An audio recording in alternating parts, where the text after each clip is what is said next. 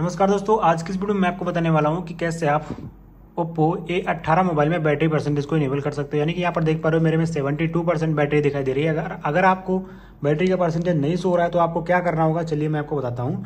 तो सिंपल सा काम है, बस आपको सेटिंग में चले जाना है।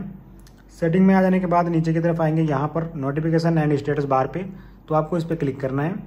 इस पर क्लिक करने के बाद फिर से एक ऑप्शन मिलेगा यहाँ पर स्टेटस बार आपको फिर से स्टेटस बार पे क्लिक करना है। अब देखिए, एक ऑप्शन मिल रहा है बैटरी परसेंटेज तो आपको बैटरी परसेंटेज पे क्लिक करना है। यहाँ पर ऊपर वाले में से दोनों किसी एक पर ऑप्शन एक ऑप्शन पे आपको क्लिक करना है। अगर नीचे वाले पर क्लिक करोगे तो आपके बैटरी परसेंट नहीं दिखेगा।